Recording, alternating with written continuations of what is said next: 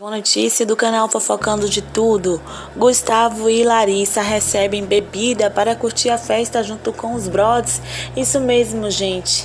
Larissa, ela saiu correndo e recebeu um cooler. Rodrigo puxou o cooler com bastante bebida e alguns aperitivos para eles curtirem a noite de festa. O vidro estava branco. Porém, Larissa, ela começou a chamar os brothers para avisar que a bebida chegou. Quando o vidro ficou transparente e os brothers foram correndo na direção da casa de vidro. E aí Larissa, toda feliz, disse: Gente, chegou bebida, chegou bebida. Eu queria estar tá aí dançando com vocês. Ela também falou que estava doida para tomar banho e disse: Eu tô fedendo, preciso tomar banho. Estou doida para tomar banho.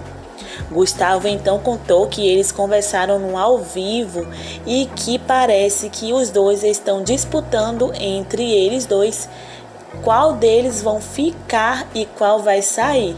Mal sabe ele, gente, que a votação é para ou os dois ficam ou os dois saem. Mas e aí? O que vocês acharam? Gostaram que a produção mandou cerveja para eles curtirem a festa na casa de vidro?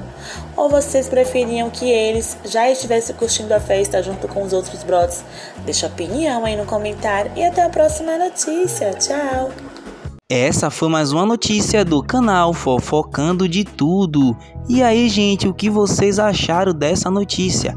Deixa aí a opinião de vocês no comentário deixa aquele like e ativa o sininho para não perder nenhum dos nossos vídeos e ficar por dentro de todas as notícias dos famosos. E até a próxima, tchau!